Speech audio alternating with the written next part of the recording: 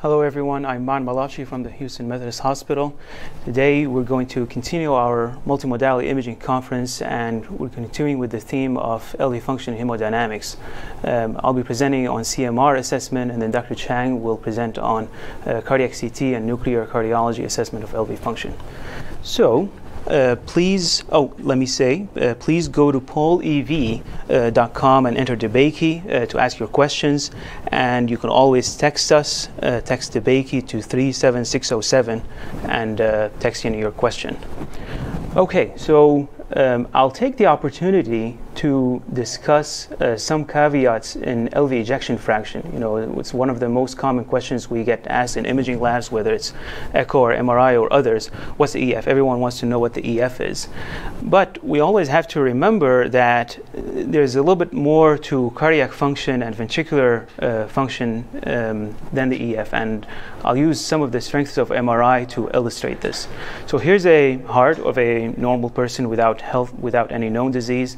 And and here's another heart that we happen to scan uh, to scan. Uh, the ejection fraction on the uh, person on the left was measured to be 65%, and we got the same ejection fraction from this uh, myocardium. However, if you notice, um, there's a little bit uh, of a difference between those two hearts. So the ejection, the end diastolic volume was 164 on the left, whereas here the heart was enlarged with an EDV of 259. And if you compute the stroke volume, there's a significant difference in the stroke volume between those two hearts despite having the same ejection fraction. Um, if you notice, this patient has uh, severe mitral regurgitation due to a flail of the posterior leaflet, and a lot of this uh, 168 stroke volume is actually going uh, backwards into the left atrium and thus is not contributing in a meaningful fashion to forward stroke volume. So if you measure the independently assessed stroke volume out of the ascending aorta, both of these hearts actually end up with a similar uh, cardiac output, but obviously this one has enlarged significantly, and we can't really say that those two hearts are the same uh, despite having the same EF. Uh, if you look at this heart, this heart is clearly severely depressed with uh, wall motion abnormality in the LAD territory. Ejection fraction here is 23%. Uh, the heart is huge, uh, 434 mLs, and no significant MR, really uh, a trivial amount. But notice he's actually maintaining the same forward stroke volume. So if you you know match these people for heart rate, vascular resistance, uh, pulmonary pressures, uh, you know at rest they may have a similar um, cardiac output, but obviously with exercise they'll be different. So the main message from this you know discussion is to remember that ejection fraction as a numerical value doesn't necessarily always equate what the cardiac output is. It doesn't incorporate the LV size, and it's certainly uh, variable depending on the loading conditions. Uh, in terms of trying to assess contractility, there isn't really a perfect uh, measure, and we've sort of, you know, dependent on ejection fraction for the past, you know, 40, 50 years of cardiology because, uh, you know, many other uh, parameters were used, but uh, you know, it's, it's, difficult to meet all of these conditions. Um, ideally, you want to be able to be um, something that's you want to have something that's sensitive to changes in inotropy, independent of loading conditions, which is very very difficult, uh, independent of size, and you want something that's easily and easily performed and safe, and has prognostic value. So, out of the multiple uh, proposed indices of LV function, the ejection fraction has really uh, survived uh, the best. Now, going back to MRI, um, MRI is pretty strong in the assessment of cardiac function due to multiple reasons. Uh, it's high res- spatial resolution, it's a high temporal resolution, uh, there's excellent signals to noise ratio, and you can image the heart in any plane that you want without having to de- you know, depend on the patient's body habitus. So, whether the person's BMI is 19 or 38, um, you can create imaging planes, and for the most part, they won't really be affected. Uh, there's no need for geometric assumptions as well, and um, we'll discuss briefly how it's actually performed. So, in terms of MRI, it's not a complete uh, 3D data set that's acquired of the chest, at least in terms of these sequences. So, what we create is imaging planes that begin from a transaxial slice, and we create um, a pseudo two chamber and a pseudo four chamber view uh, of the heart to try to emulate the echocardiographic windows.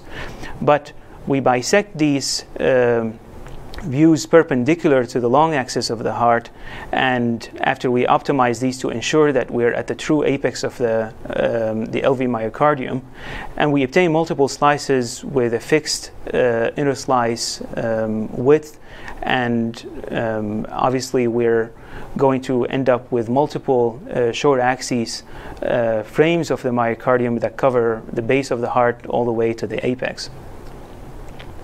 Um, and then we can compute the end diastolic and end systolic volumes as we select which slice has the largest um, EDV and which one has the, lar- the smallest volume, which indicates the ESV. And we use the modified uh, Simpson's rule uh, to compute the EF, the EDV, and ESV. Um, there's been a discussion in the past about whether to include the papillary muscles within the LV mass versus including them within the LV volume. Um, the main consensus at this point is really to include them within uh, the LV mass because they contribute a significant portion to LV mass. And um, the critical thing is to really maintain consistency in your lab. So if you've done you know one certain measurement uh, the same way for the previous 10 years doesn't really make sense to change that especially as many patients will require serial monitoring and you want to maintain uh, consistency in your measurements um, as we trace um, these um, end diastolic and end systolic uh, frames, we notice that the heart actually uh, descends within the chest cavity. And um, if you compare the exact same location within the same slice uh, at diastole versus systole, uh, the heart will descend down at systole, and a portion of this will actually be, uh, here in this case, will be in the LVOT. But as you go up, you would have to adjust these. And the strength of MRI is being able to match uh, each of the short axis sequences to a long axis reference point. point and you know with experience and doing this you know thousands of times you end up uh, uh, getting better at it um, so notice that I haven't really brought up gadolinium or contrast. So if you want to uh, assess EF, whether it's the LV or the RV, and assess ventricular function, uh, there's no need for uh, contrast used in this study. And this is really a 15-minute scan if you want an accurate EF measurement. Um, going back to assessment of um, uh, EF and ESV and EDV, really the validation has been very strong for MRI since the 80s. And this is a study that compared um, cadaver hearts against a, a previously done uh, MRI and noticed that the interstudy reproducibility as well as the intra and inter-observer variability are really excellent in the range of a few mLs and very few percentage points. So there's been really strong valid, very strong validation for MRI uh, assessment, uh, whether it's in animals or in vivo, uh, in vitro or ex vivo. Um, and this really has strong implications in terms of trial designs. Let's say you have a, uh, a, a, procedure or a medication that uh, you really want to be able to assess if they result in any remodeling of the heart. Uh, really, MRI may be one of the best ways to reduce your sample volume um, and help with your power analyses because you're not going to have to do many patients with such an accurate technique. Now, how it's actually performed in terms of MRI technique. Um, MRI calculates and uh, computes value in what's called the K space. And the K space is uh, sort of a virtual uh, platform, if you will, or, or, or, a canvas where you collect data on frequency um, variables or frequency values. So as you scan the person with every RR interval, let's say you were you're scanning the heart at diastole, um, you acquire a few K space lines rather than a few uh, slices of the heart or a few uh, portions of the uh, of the image. So each of the K-space lines, because it's frequency information rather than actual anatomical information, um, each of the lines contributes to the whole thing. And as you acquire uh, more K-space lines, you improve the spatial and and uh, resolu- and sp- the spatial resolution of the image, and uh, you end up with more data. So um, as you complete um, the entirety of those lines, your image will improve um, in all of those avenues. Um, but to create a full cine, uh, like the videos that I showed you before, you have to acquire all of these uh, images uh, throughout the RR interval, and you create, you know, anywhere between 25 to 30 images to create a good enough temporal resolution so you can visualize these and make inferences on cardiac function and wall motion.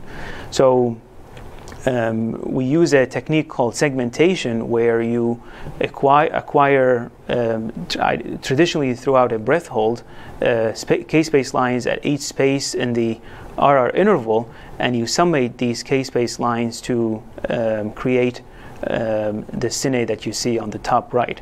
So we, with each of the frames, uh, you bend those frames to a certain portion of the RR interval and you end up with the movie um, in patients who are unable to hold their breath or they're in rapid AFib or the highly irregular RR interval, those create challenges for the traditional sequences. Um, but there's always options of doing what we call real-time imaging. So real-time imaging is performed at a slight sacrifice in uh, temporal and spatial resolution, but you're acquiring the MRI in a way just like you're acquiring echo. So in real time, without any um, uh, processing that requires you know acquiring multiple heartbeats. So uh, the resolution instead of being usually in the order of 1.5 to 2 millimeters will be slightly higher, and the frame rate will be um, uh, slightly lower as well. But the benefit of this is also the patient just has to be able to lie flat, and you can also assess for paradoxical uh, septal interactions and changes in LV and RV uh, interactions with respiration.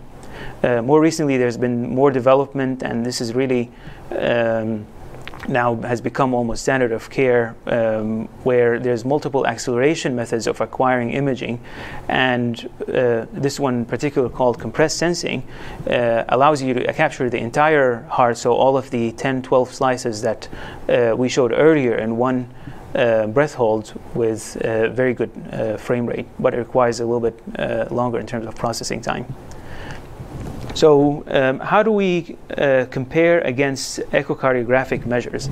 Um, there's already established normal values for CMR in terms of um, healthy adults.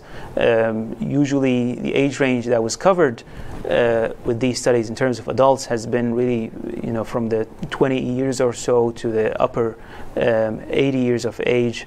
And if you notice, the ejection uh, fraction uh, values are fairly similar to echo, but the normal values for end-diastolic volume and systolic volume are significantly larger than what they are on echo.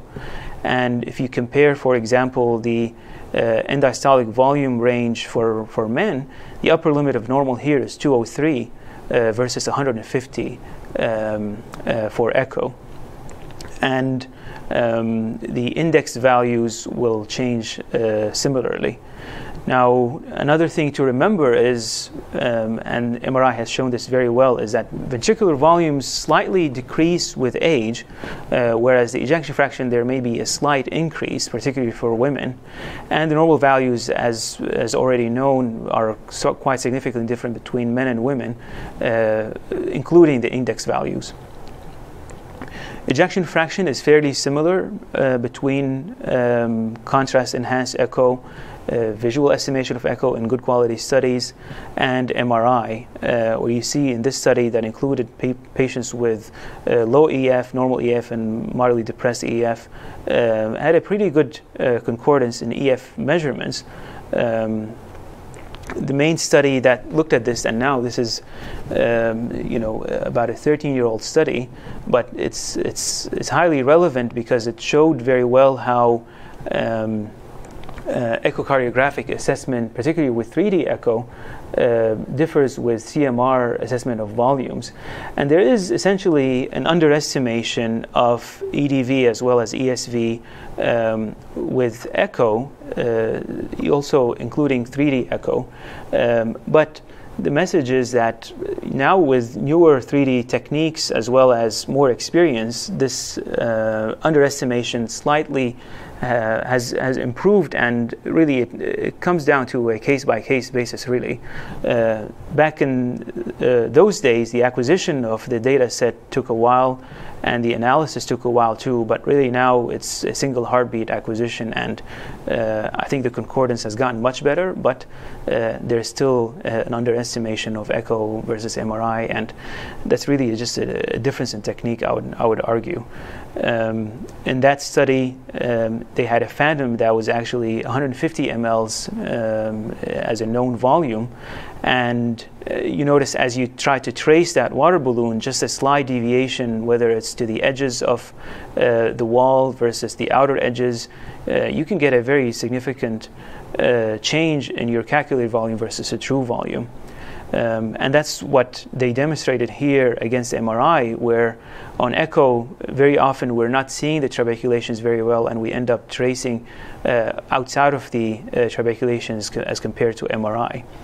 And um, the I'll, I'll say you know when it comes to this is that the key thing to remember is that the volumes are going to be slightly higher on MRI, sometimes significantly higher, particularly as the uh, ventricles uh, get larger. You know when you get to the 400, 500 cc ventricles, uh, it's not unusual at all to see you know 100 ml difference between echo assessment and MRI. Uh, the ejection fraction for the most part is fairly consistent. There's always going to be cases where uh, you get you know a 10 15 uh, sometimes 20 percent uh, variation between the two studies but um, that may be more of a um, more explained by the the adequacy of windows from echo and the visualization of the the borders rather than uh, the true calculation in of itself uh, in terms of assessing LV function beyond the EF, uh, there's ways of assessing diastolic function by MRI, and really, um, I, I believe that this hasn't really caught on in terms of clinical practice, but uh, from a research standpoint, it certainly is um, something that many are working on. Uh, you can measure E and A velocities. Uh, you can derive an E to A uh, prime uh, uh, an E to E prime ratio and um, in terms of TR velocities, those are uh, challenging to measure by MRI. There's a good chance of underestimation of the true uh, TR velocities. There's other secondary um, measures of diastolic function, such as um, left atrial volume, uh, strain and torsion measurements, and uh, measures of uh, LA function, whether it's uh, strain or contractile function of the left atrium, um, as well as ECV, which helps us infer the interstitial expansion or the tissue compartments uh, characteristics of the LV, um, thus helping us with uh, potentially inferring what the diastolic function of the LV is. Um, there's already established values for uh, some of these measures as well as the annular descent, and there's data to support um, these in terms of prognosis. So in this study, the assessment of the mitral annular systolic excursion by MRI uh, was shown to be uh, independently predictive of mortality in those uh, people. This, is, this happened to be a cohort of people with hypertension and having had an MRI for a clinical indication and um, CMR tagging in terms of uh, assessment of strain. This is the classic, uh, you know, primary method of trying to assess uh, strain measures by MRI. Since then, there has been development of multiple other uh, methods, and more recently, really feature tracking has been uh, the main one. Uh, that's utilized at least primarily in research studies still.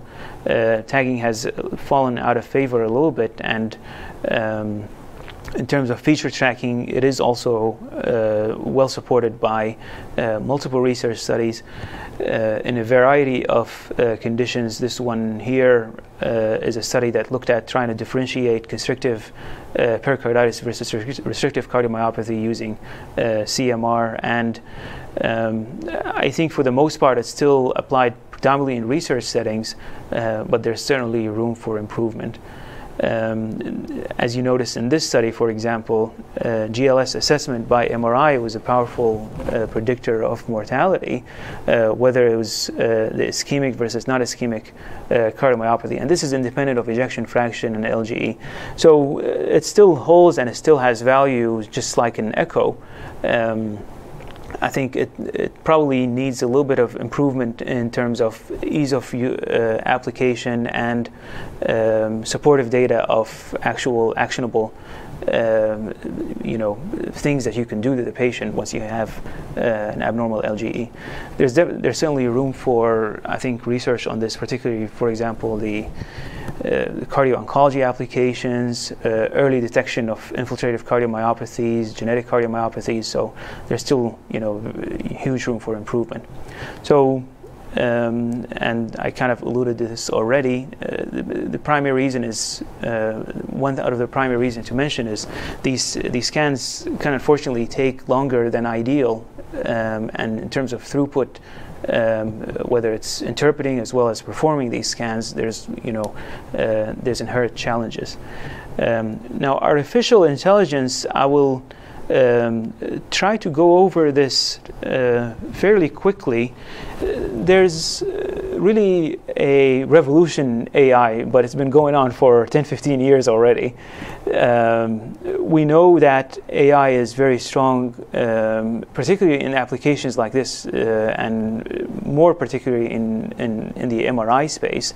Um, there's been, you know, continuous improvement in the inter-observer, inter-observer variability uh, for AI algorithms, and nowadays, even with commercial software, uh, there's huge um, improvements just between uh, the past two years where you can trace the entirety of the LV and RV with a single click, very often very accurately. Um, however, there's still going to be cases where you still have to go back to your basics and background training and uh, adjust these manually, uh, particularly in cases uh, such as congenital heart disease patients, um, significantly abnormal um, hearts, and uh, not so poorly, not so uh, well-defined borders or uh, cases with uh, with uh, cardiac devices or artifact. Um, I'll conclude by saying that uh, there's a lot of indications for MRI these days. Uh, really, any patient with heart failure or a new cardiomyopathy uh, nowadays uh, gets an MRI, and it's a very, very uh, useful test in terms of identifying etiology, um, identifying areas uh, that were potentially missed by clinical or echocardiographic exam, um, accurate assessment for trying to determine uh, need for device therapies. Um, even more importantly, are cases with infiltrative cardiomyopathy and restrictive cardiomyopathies. Um, and then, uh, as I alluded to, uh, reevaluation in people who have um, an exposure to a cardiotoxic agent, really MRI becomes an ideal method because of the very low uh, interstudy variability uh, in terms of assessing volumes and fraction, ejection fraction, um, as well as uh, there's always uh, room for assessing patients with uh, arrhythmias, particularly things like VT and frequent PVCs um, that really need to be ruled out in terms of uh, structural heart disease. So I'll conclude here and I'll turn it over to Dr. Chang. Um,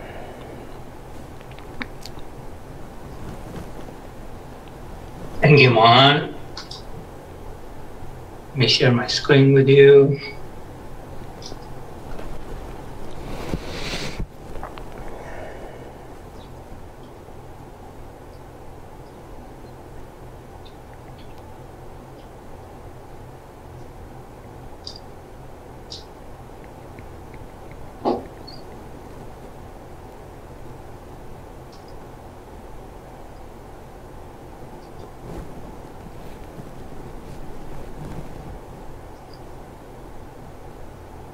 Can you see my screen?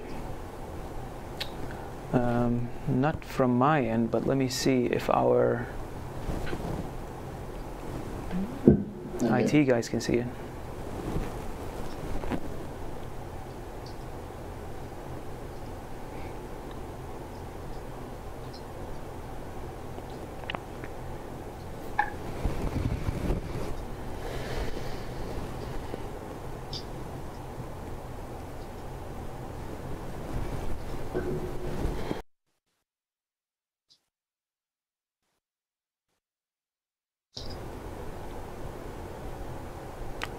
Can see it now.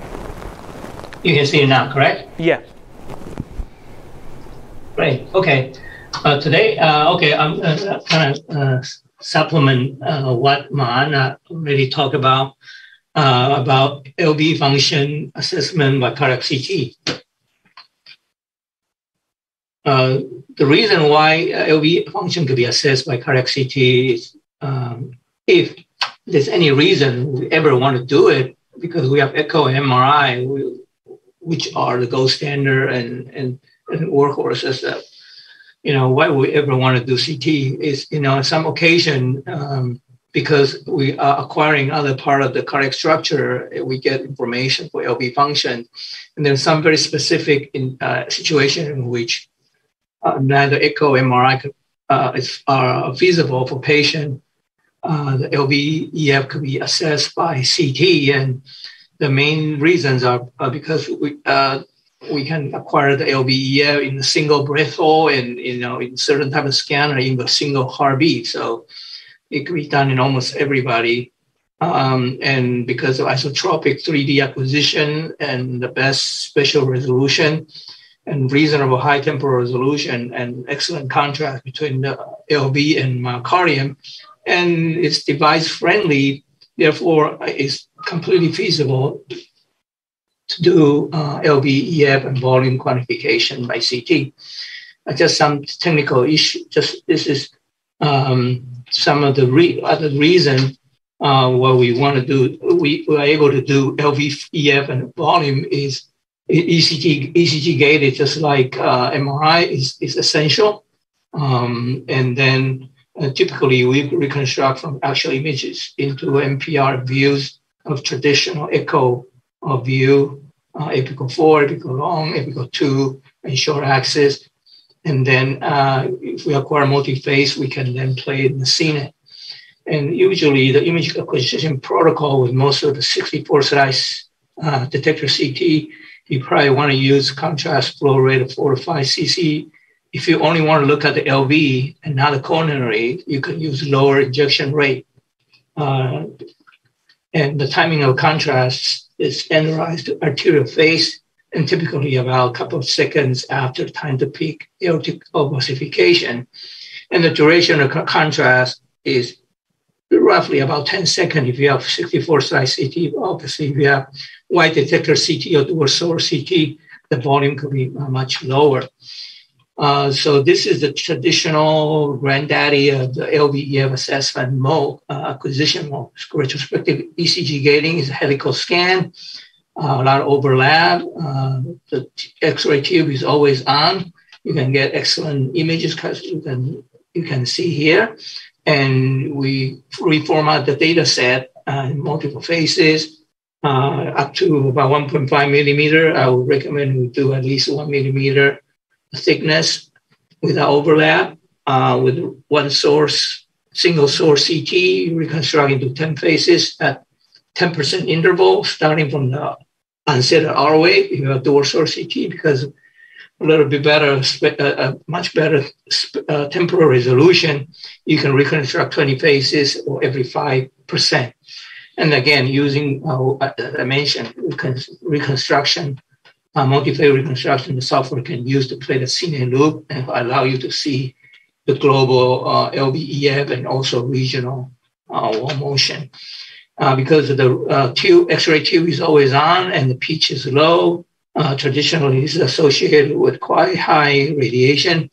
Uh, so the dose modulation uh, is introduced, essentially doing the systole when the coronary images traditionally are not as good, you can lower the, the tube uh, current about 20% of the maximum, and that could save uh, uh, at least half of the uh, radiation.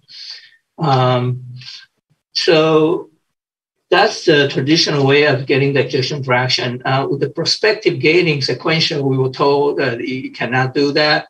You cannot assess it yet, but now with the newer scanner, uh, it's, it's capable. Uh, you can uh, choose, for instance, in left-hand side, this perspective gating, you can imagine if I open the window of a position or padding, okay, if I start out with end systole, all end systole, all the way to the beginning of the diastole, technically I could potentially uh, have uh, ejection fraction calculation, okay?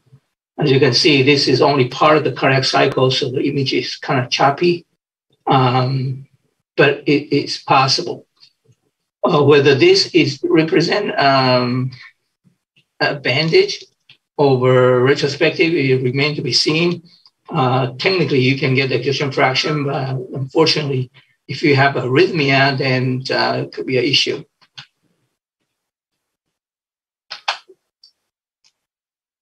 Uh, the other possible uh, scan mode with helical with uh, helical scan mode with our dual source CT, you can do a high pitch helical scan trigger and both systole, um, systole and beginning of or end of diastole, and technically you could just have two uh, sets of images uh, and then acquire, for instance, an end of that systole uh, over the T, at the end of the T wave and right before the R wave or uh, in a diastole. Uh, so obviously you don't have all the information throughout the cardiac cycle, but uh, the radiation doses will be much more uh, uh, forgiving. So what allows CT to, uh, to, to, to, to, to obtain the LV volume and EF calculation? It is because the isotropic reconstructed data. So, so the voxels is, is, is uh, asymmetric in all three dimensions. So if you have a volume and you can just uh, reconstruct and put in the voxels and you knowing the, the size of your voxel, you get the uh, volume. So it's a completely 3D uh, calculation. There's no geometric uh, assumption. Having said that, uh, because image quality and how we reconstruct images, you can do the 2D or Simpson methods like MRI. Uh, and, and like this will be a case. It's a little more tedious. You need to go in there and, uh, and trace the contour. You can, in this case, we include the pap muscle into the left ventricle, but you can also take long, you know, take your time and go around this uh, pap muscle. Uh, or you can do just do area length method, 2D. A 3D threshold basis a lot more uh, uh, more automated. Basically, it follows uh, uh, because of the high attenuation difference between the myocardium and contrast allows this, this, this algorithm to work. Uh, essentially, follow the, the different, follow the contrast high Hounsfield unit uh, in the LV cavity and um, and stop where uh, the lower Hounsfield unit, the myocardium, that's how we determine the, the, the water. So, uh, but realistically, most of the time, also software we use incorporate some type of AI uh, algorithm, although we don't realize it. And uh, this is just an example. Obviously, I'm not going to talk about how the AI uh, algorithm work because I don't know at all this is a very you know crude understanding of, of it. But essentially, you know, uh, uh, they have a uh, they have a training set, several hundred patient, which uh, uh, a, a, trained uh, technician takes one to two hours per each case to trace the contour, and then and then go through multiple iteration computational uh, software. Uh, so allows you to basically come out with a deep learning, machine learning model to apply to the images that are acquired. So you can see here, uh, is a, uh, we come out with, when you uh, send in your DICOM data set, you can have a predictive segment, segmentation mask and the contour uh, displays and some, it could allow some uh, operator interface to adjust if, if uh, you think that the water didn't work very well. So essentially, just giving some example, a workflow is when you load all the phases in the correct cycle, uh, you get these images, you get the segmentation. Okay, so this is all AI based. And after that, uh, for instance, here, you can have either contour, including the including the pap muscle, or in this case, excluding the pap muscle. And for right ventricle, uh, most of the software cannot uh, does, does not exclude any uh, non-blood non-blood structure inside the cavity. Okay, so when you do 3D methods or threshold based or AI plus uh, threshold based versus 2D, you can see I mean, it's quite similar. Okay. What's a caveat? The 2D, the problem obviously require a lot of user interface. It's time consuming. Um, just like what you guys do, the MRI, you have to go in and trace it. And, um, and so there's some systematic error where you put your plane, and so on and so forth, essentially where the base and the apex. And essentially, and most importantly, you know, you have some arrhythmia basically this is going to be very uh, damage, uh, damaging to, to the result. And 3D, the problem you require homogeneous opacification LV and greater difference at 150 difference attenuation value LV, LV lumen compared to the myocardium.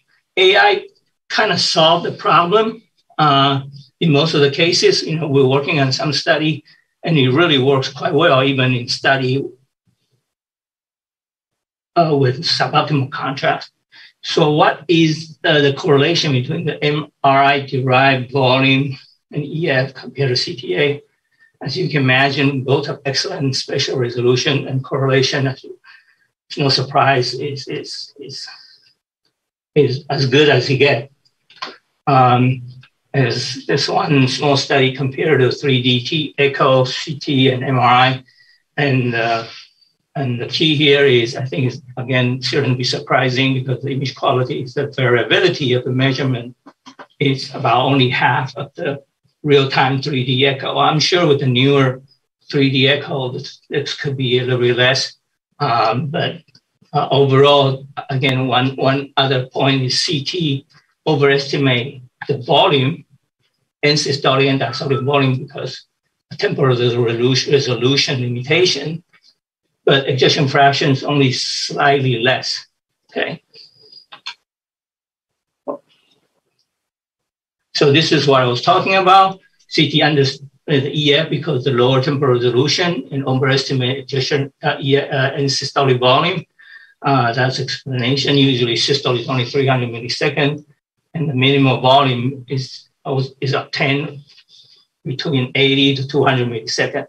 So if you have a temporal resolution of 65 millisecond, which is the best we have, or 250 in some of the 64 slices, is literally impossible to catch exactly the smallest volume or systolic volume.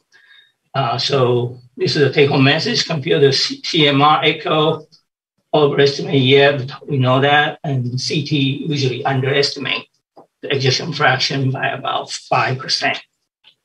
Okay, the other question, the other issue that sometimes come out is, does it make any difference if you reconstruct every 5% or 20 phases or 10 phases? You know, visually, uh, it, it's very little, difference is not very big, but you can see it's a lot smoother, the display uh, and the curve looks better. And you can see the volume here the end systolic, end diastolic volume of 10 to 20 phases is 208 versus 178. And uh, end systolic volume is 82. And this end systolic volume is 70. Uh, so but overall ejection fraction is, you know, 60, 61%. So it's very similar. So it's really now, I personally think in a very regular rhythm and slow heart rate, uh, I think either two fa- 10 phases or 20 phases doesn't make a huge difference. But if the patient rate is a little bit faster, 20 phases could offer a little bit more assessment. But clinically, uh, five, less than 5% difference, I don't think it make any uh, management difference. Okay. Next question is, when you, when you exclude the pap muscle or should you include the pap muscle? So this is the same patient, as you can see right here. Again, one, we got 61%, 80, 58%. Uh, we include the pap muscle, obviously, the, the end-diastolic volume is going to be higher. Uh, but, the, you know, but again, uh, the, the ejection fraction is slightly lower um, because end-diastolic volume is, is higher. Uh, and so is systolic volume. Other caveats is uh, when you give beta blocker for a coronary angiography, assess coronary uh, artery assessment, it could technically affect the LV volume and ejection fraction. And other caveats of using CT for assessment of LV EF, obviously, we require uh, radiation and, and, and contrast. Okay. Other consideration is, is type of scanner affect assessment of LVEF. I think it does. As you can see right here, uh, most of the 64 slices uh, CT scanner will require six to eight, six to 10 seconds to acquire the images. Um, uh, with the wide detector CT, you require one single heartbeat.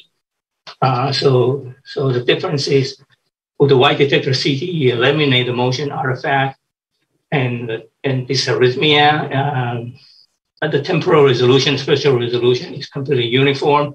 As you can see here, all the step artifact coming from uh, going, you know, acquiring multiple stacks versus one single rotation. Everything is uniform. What you see here is exactly the same time as what's happening right here. Whether here is earlier, you know, and here is the bottom part our with regular 64 slice CT. Uh, just happens six, eight seconds later.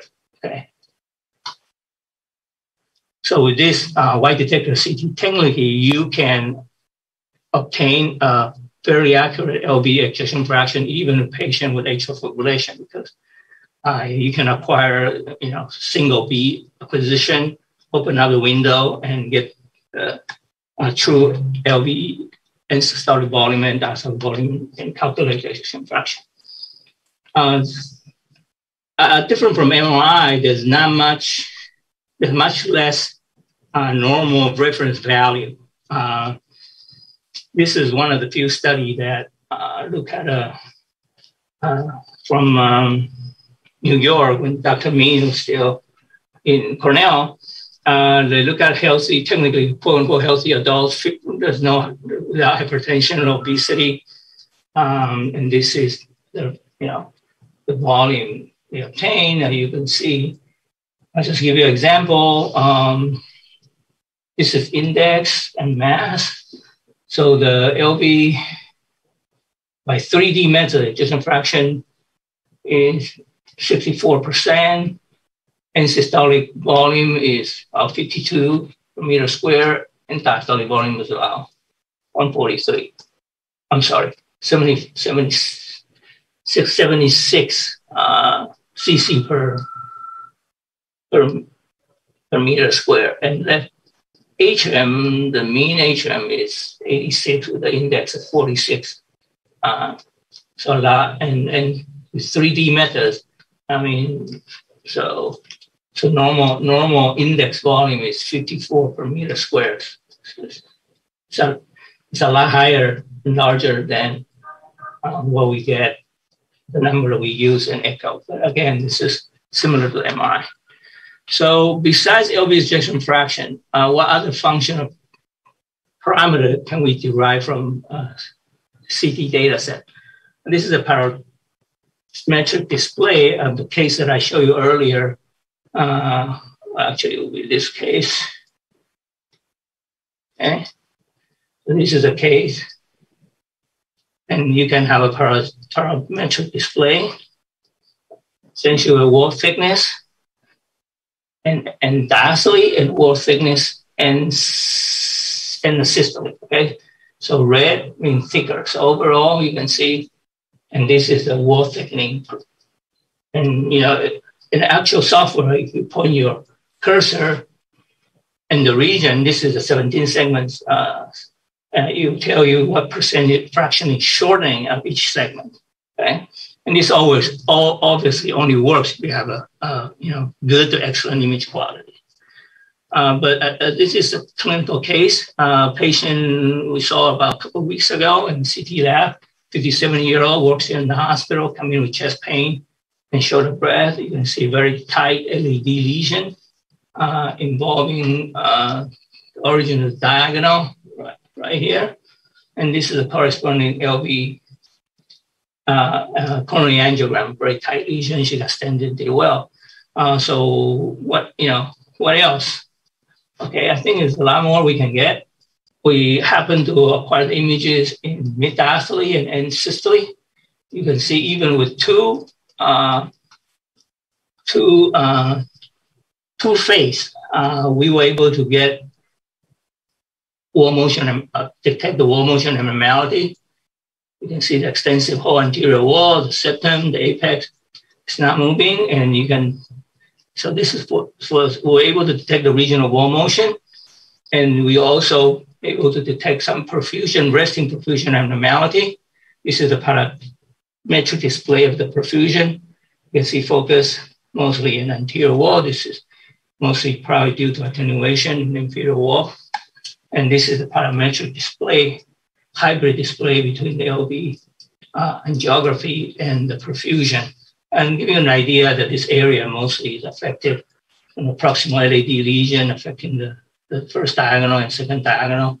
And this is just a, a binary display of the perfusion. So why is this important? And this, again, I mean, how, how feasible it is. And this has been done almost 15 years ago uh, using 64 slice CT in patients with, with acute chest pain um, compared to echo the, and the CT overall good correlation, very good correlation, just global ejection fraction, uh, very pretty good, I'll say pretty good correlation for regional wall motion assessment between CT and echo. And and fair correlation between um, perfusion abnormality by CT and, and SPECT infarct size. So this is feasible. And in addition, there is incremental va- prognostic value of uh, severity of coronary disease and EF. This is not surprising. Any imaging modality will get you that. Uh, but it's important uh, to, to know that in this ROMICAT study, the prognostic value of CT uh, is, is enhanced if you incorporate a regional wall motion abnormality. So what do I mean by that? For instance, if, if you have patients have stenosis and no and no regional wall motion abnormality, obviously the prognosis is not as good compared to patient without pulmonary stenosis. But if you have both stenosis and more but regional wall motion, the prognosis is even worse. Again, not too surprising, but again, you, if you have in your CT data set, uh, uh it's important to, to report that. Okay, just real quickly through some other, you know, just kind of show and tell what CT could be used in certain situation for RVEF assessment. As you can see here, patient with LVAD. Uh, not surprising, uh, RV image quality is not that good. CT with reasonable image quality, we were able to calculate ejection fraction by measuring diastolic volume and systolic volume. Okay, and then this is the previous case that I showed you earlier. Patient had, you know, mitral regurgitation and the absence of tricuspid regurgitation and pulmonary regurgitation and aortic regurgitation. Basically, you can I calculate the regurgitating volume by subtracting the, the RV uh, stroke volume from LV stroke volume. You can get a regurgitating uh, volume, in this case, about 45 or 50 cc. Uh, and then it's also feasible to calculate to assess diastolic uh, function. So just briefly, this is a little bit. I think it's quite ingenious. So essentially, you can track the volume through the cardiac cycle, time volume curve. Okay, so if you if you calculate the difference between the two phases, okay, the difference that's how much what's the volume of the blood going to going passing through um, the mitral valve through that cardiac phase. So if you have a, you can reconstruct a mitral inflow pattern just like echo if you have the mitral valve area, right? Same thing you can also measure. You, you put a you put your regional interest in the annulus and apex. You can measure the distance between systole and diastole, and the difference converted will be the velocity. So you have time and you have distance.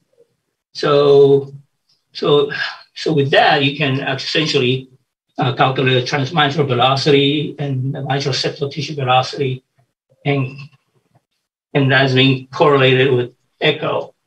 A little bit tedious. It's easier to get echo, but just to you know maybe useful for uh, research uh, in certain population. For instance, we're interested in, in doing this applied to the right ventricle in patients with LVAD, for instance. And obviously, with a, such a good image quality, speckle tracking is possible. Uh, and there's already commercially available software for assessment of the strain. It has been correlated with MRI and, and, and echo as well. Uh, I'm not going to go into detail. This is fairly new. We personally don't have any experience, but uh, we, we recently, uh, with Dr. Dipan Shah's support, we're hoping to get the software and uh, we can start doing some of this analysis. Uh, I think most excitingly is uh, one of the things that I'm interested in the left atrial function assessment.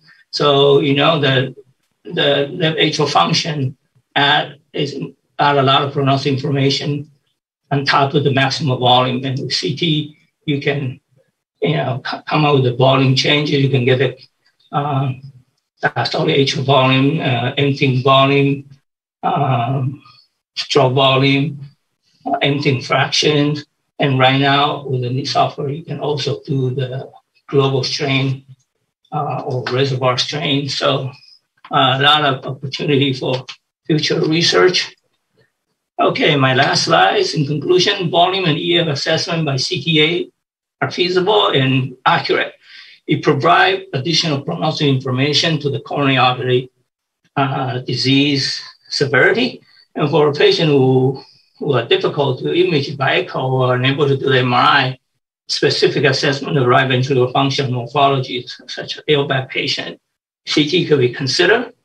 And I think it's important for us to get some regional wall motion information where especially in patients with acute chest pain. And remember, you do not need to get, do the retrospective gating protocol, which involves a lot of radiation. You can use either uh, several uh, um, high pitch mode, or you can do uh, wide padding with your wide detector CT, and you can get some information of the regional wall motion. And that's all I have. Thank you for your attention. It's open for questions. Thank you, Dr. Chang. So we have one question. How to use the volume numbers in real life? Do you have a range that you have in mind? Thanks. So I would say, at least from, from our end, we, we, we want to also determine, first we want to determine normality. You know, is the person's heart normal or abnormal? And uh, really, for the vast majority of patients getting an MRI scan, they would have had an echo done that had something um, that led to the person uh, getting an MRI. So first is clarification and identifying, you know, true normality versus true abnormality. And I would say, you know, very often we use the volumes as a secondary check. For example, in cases with valve disease, um, if I get an, an end diastolic volume of the LV um, that's similar to the RV in a patient with severe MR, I know that there's something uh, wrong because the, the LV volume should be significantly larger than the RV volume. Um, we use those as secondary checks, for example, when we're uh, comparing the forward stroke volumes. Um, uh, compared to the stroke volumes, and um, those really help us uh, very often in, in, those valve cases. Um, another application is athlete's heart, where these people actually have now established uh, thresholds for what's considered to be normal or abnormal. And in terms of a range, I would refer you to that guideline document which was updated this last year from SCMR. Generally, once your index EDV is upper greater than 90 to 100, it becomes you know abnormal or in general considered to be mildly enlarged. Once it's gr- one greater than uh, 125 uh, mLs per meter squared, that's moderately large. And once you get to greater than 150, uh, that's generally considered to be severely enlarged. Whereas on echo, for example, uh, remember, you know, greater than 100 can sometimes be considered severely enlarged, uh, particularly for women. Uh, Dr. Chang, do you have? Yeah, well, CTU, as I said, there's no, not much, almost not very few, you know, reference table was used, but uh, from the literatures, I guess we could potentially use the reference number from the CMR. Yeah. But as if now we don't report uh, the volume or mass just because we certainly don't have the reference value, but we see something that's grossly abnormal, we'll report it. Hmm. Um, so that's, but we do a report ejection fraction if we have both end systolic and diastolic volume, yeah. Yeah you wonder if it will become uh, mandated in CT reports, uh, you know, with these improvements in scanner technology and AI algorithms of getting all these values done automatically. Maybe. Well, uh, currently, yeah, it's almost quasi-automatic. I mean, yeah. reason, reasonable image quality. You you could foresee, you know, some uh, software tweak, uh, whatever number you get uh, uh, we can currently the software for calcium score assessment, you know, for chamber segmentation is readily available. You can you can you know you can envision the day that everything was done automatically and it could be automatic transfer to the to the report and with the reference value in it. Yes. Yeah, absolutely, absolutely. That'll save a lot of time. Okay, any questions from the audience here? Okay, well, looks like we're, we're done. We'll see you guys next Tuesday. All right. Thank you all. Thank you.